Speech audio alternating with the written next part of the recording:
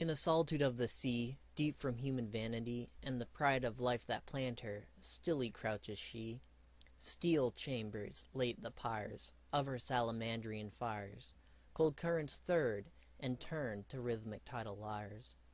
Over the mirrors meant to glassy opulent, the sea worm crawls, grotesque, slimed, dumb, indifferent.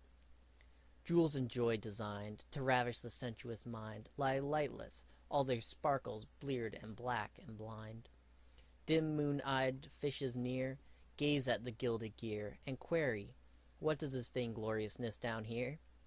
Well, while was fashioning this creature of cleaving wing, the immanent will that stirs and urges everything, prepared a sinister mate for her so gaily great, a shape of ice, for the time far and discolate. And as the smart ship grew in stature, grace, and hue, in shadowy, silent distance grew the iceberg too.